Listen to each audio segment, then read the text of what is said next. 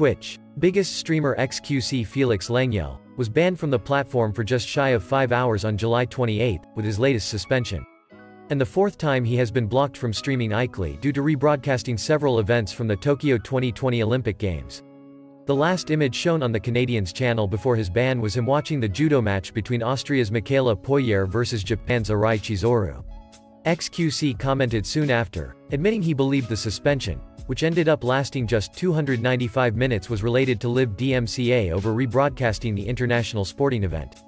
He said, I took necessary precautions and thought it would be fine. Really didn't expect it, but I could have easily avoided this. During his stream, XQC floated Twitch guidelines, and told viewers that he could just disable the VOD in question afterward, and be in the clear.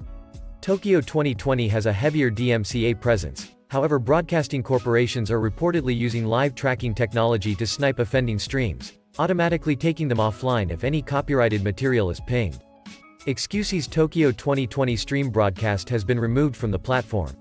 Whether this was by the Twitch star or Twitch itself is not clear.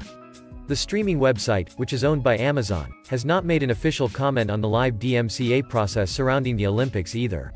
Sorry for everyone involved, including the viewers. XQC wrote on Twitter on July 28. I'll be smarter next time, and follow guidelines more strictly. This is the Canadian's fourth Twitch ban since the start of 2020. His first ban came in March 2020 where he was forced off the platform for three days. The one after that was only for a single day, just a few months later. XQC copped a lengthier ban in November, when he was benched for seven days.